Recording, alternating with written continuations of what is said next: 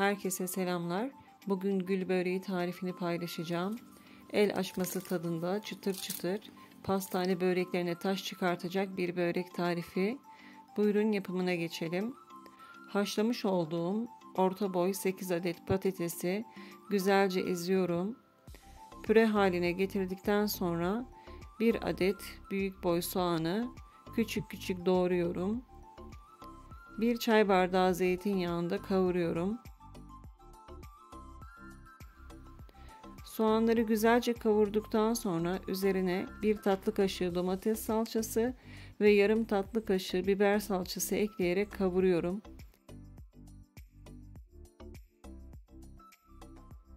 Salçalar iyice kavrulduktan sonra üzerine bir tatlı kaşığı pul biber, bir çay kaşığı kırmızı toz biber, yarım çay kaşığı karabiber, yarım çay kaşığı kuru nane ve bir çay kaşığı tuz ekliyorum. Baharatları kendi damak tadınıza göre ekleyip çıkartabilirsiniz. İsterseniz farklı baharatlar da ekleyebilirsiniz. Baharatları da biraz kavurduktan sonra üzerine haşlayıp ezdiğim patatesi ekliyorum.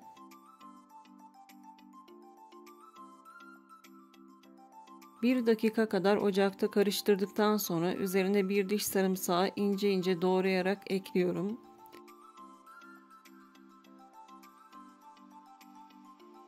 Sarımsak çok güzel bir tat veriyor. Denemenizi tavsiye ederim. Bir iki karıştırdıktan sonra ocağın altını kapatıyorum ve soğuması için kenara alıyorum.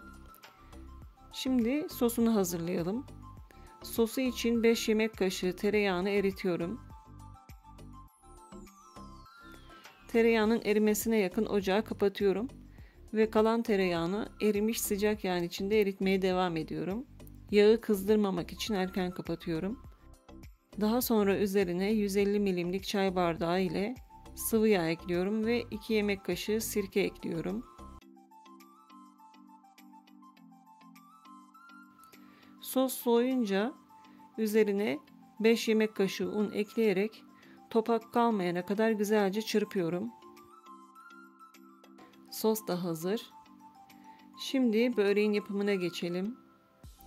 Bir yufkayı açıp üzerine 4-5 yemek kaşığı kadar sos sürüyorum ve fırça yardımıyla her yerine gelecek şekilde sosu sürelim.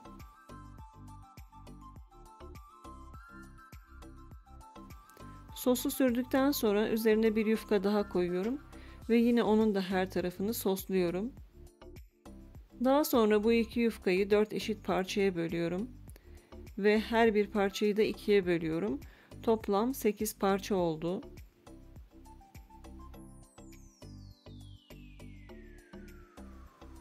Kestiğim parçaları şöyle bir ayırayım.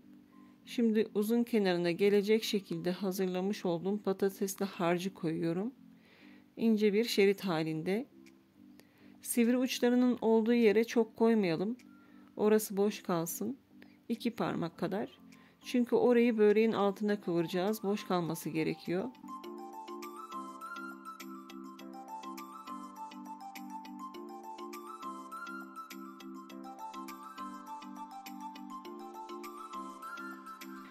Evet hepsinin harcını yerleştirdim. Şimdi sıra geldi sarmaya. Sigara böreği sarar gibi sarıyoruz.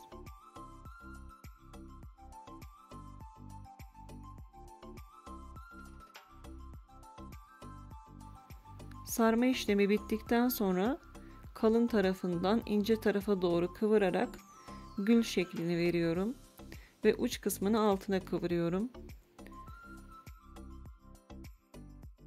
Buraya kadar izlediyseniz ve kanalıma hala abone değilseniz abone olabilirsiniz. Abone ol tuşunun hemen yanında bir zil var. Ona tıklayarak paylaştığım videolardan anında haberdar olabilirsiniz. Daha çok video paylaşmam için destek olmak istiyorsanız yapmanız gereken şey çok çok kolay. Küçücük bir hareketle beğen tuşuna tıklayın ve bir emoji de olsa yorum yapın. Ayrıca videoyu sevdiğiniz, istediğiniz herkesle paylaşabilirsiniz.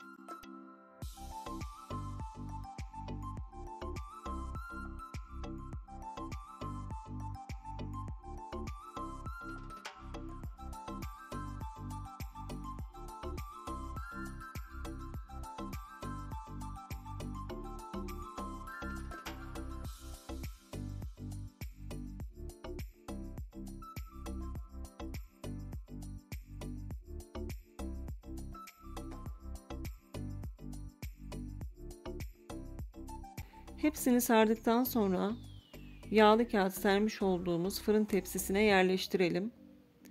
Bir yumurta sarısının üzerine 2 yemek kaşığı kadar sıvı yağ ya da zeytinyağı ekleyelim. Güzelce çırpıp böreklerin üzerine sürelim ve 190 derecelik alt üst ayardaki fırına gönderelim. Altı üstü kızarınca fırından çıkarabilirsiniz. Nefis oldu, çıtır çıtır, el açması tadında şahane bir gül böreği tarifi. Patatesli gül böreği. Bu böreği hemen pişirmek istemezseniz yine yağlı kağıt serili bir tepsinin içinde derin dondurucuya koyun. Donsun. Daha sonra çıkarıp donmuş halde buzdolabı poşetine koyup tekrar derin dondurucuya kaldırın. Pişirmek istediğiniz zaman derin dondurucudan çıkarıp yine donmuş haldeyken fırın tepsisine dizin. Üzerine yumurtayı aynı şekilde sürüp aynı şekilde pişirin. Çözülmesini beklemeden fırına atın. Aynı lezzette şahane börekleriniz olur. Yapacak olan herkese kolay gelsin. Bir sonraki tarifte buluşana kadar Allah'a emanet olun, sağlıcakla kalın.